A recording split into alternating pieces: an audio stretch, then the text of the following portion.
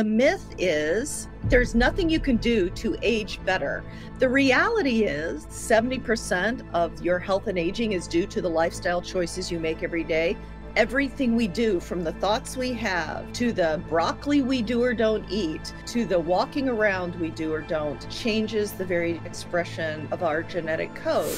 Dr. Vonda Wright, she's a double board certified orthopedic surgeon and a recognized authority on human performance, longevity, and in particular, women's health. My entire life's work has been focused on changing the way we age in this country. Growing old is not for sissies, people. Women are living half of their lives past their fertility period. Medicine doesn't know what to do with us. More than 40 to 50% of all women will have osteoporosis. The minute you fall to the floor and break your femur, you have a 30% chance of dying and a 50% chance of never returning to the home you left. There are actually 33 chronic diseases lumped together into a nomenclature called sedentary death syndrome. Without healthy bones, you lose the efficacy of all that metabolic function.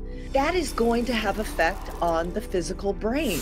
I decided that it was time to tell women not only what was happening to them, but what to do next. We can still change our biology. Our brain is not static. Your body is an adaptability and homeostasis machine. It is ready. There is never an age or skill level when a simple investment in your daily mobility will not transform you. You are worth the daily investment. What are the top ways to care for your bones?